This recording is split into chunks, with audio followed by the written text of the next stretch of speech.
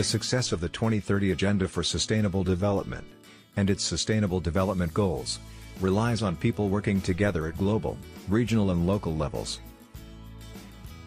The lower Mekong countries, Cambodia, Myanmar, Laos, Thailand, and Vietnam, face substantial challenges in achieving the SDGs.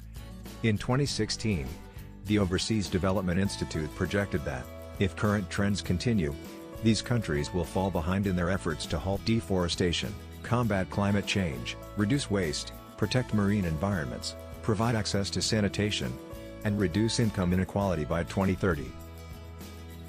Lack of reliable, accessible data and public dialogue hinders evidence-based development planning.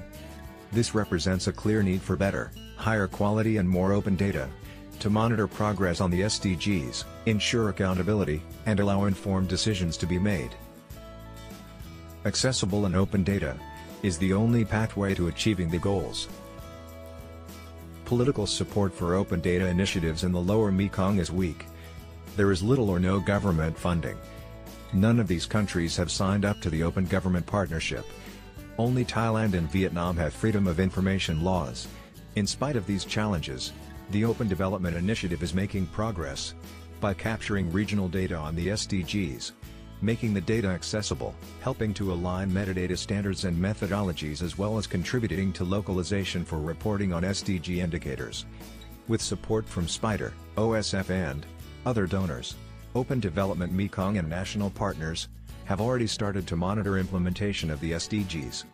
National partners in Cambodia and Thailand are already engaging with local statistical agencies and ministries to share data and track progress on the SDGs.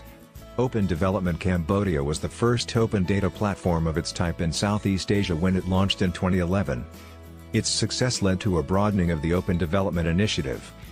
Partner organizations have been formed in Thailand, Myanmar, Laos, and Vietnam, and there is a regional platform, Open Development Mekong.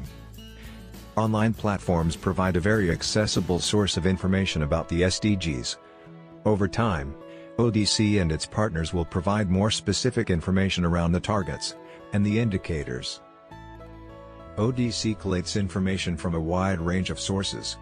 It encourages the use and distribution of its material through Creative Commons licensing. But ODC goes beyond just providing static information.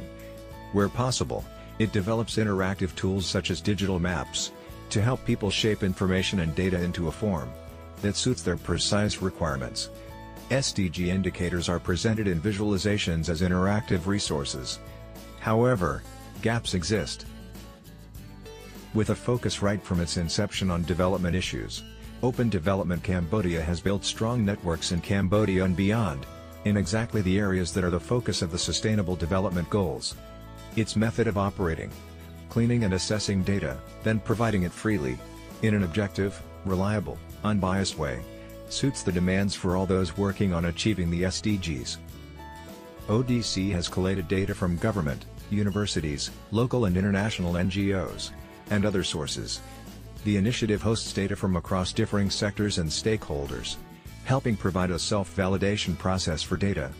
Open data, through Open Development Cambodia and its partners, in the lower Mekong region, can play a valuable role in raising awareness of the Sustainable Development Goals, measuring their progress, and ultimately helping to achieve them.